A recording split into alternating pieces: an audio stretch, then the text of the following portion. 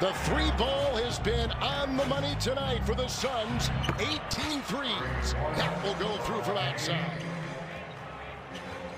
Once again, I go back to that sequence of events.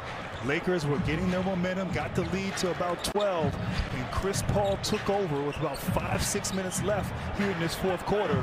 Gave enough of a cushion, giving them a comfortable lead to kind of glide and cruise here to the finish line. Out to Crowder, another three. Rebound by Horton Tucker, then lost it to Cam Johnson. You can see the body language for the champs, and it's done. We've had the two teams from the finals knocked out in the first round. The two teams, Miami and LA from last year in the NBA Finals. Three Bridges no, picked up by Horton Tucker. And LeBron with about 50 to go. And down with a three here. And Wesley Matthews puts it up and off. And here comes Chris Paul.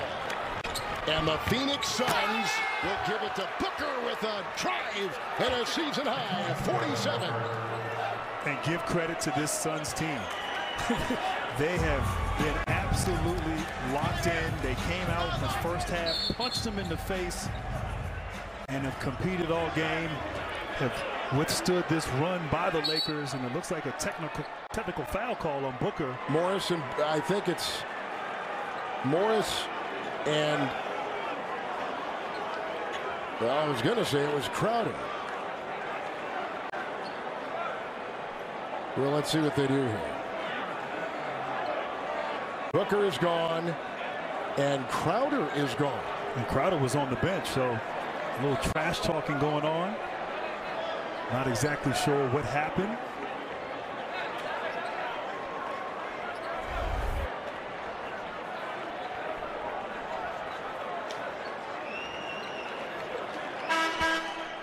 It looked like Crowder knew right away that he was ejected and gladly ran to the bench, but you got to tip your hat to Devin Booker.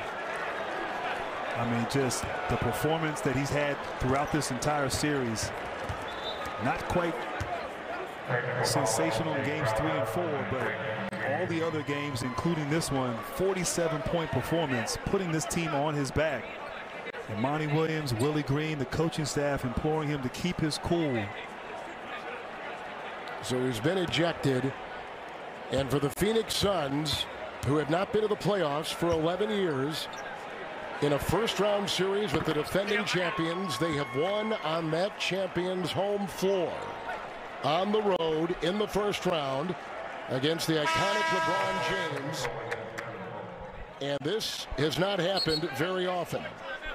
You see a defending champion in the first round lose on their home court.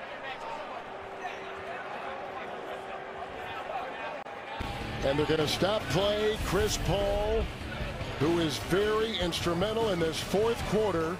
Leadership, passing, scoring, he did it all tonight for Phoenix.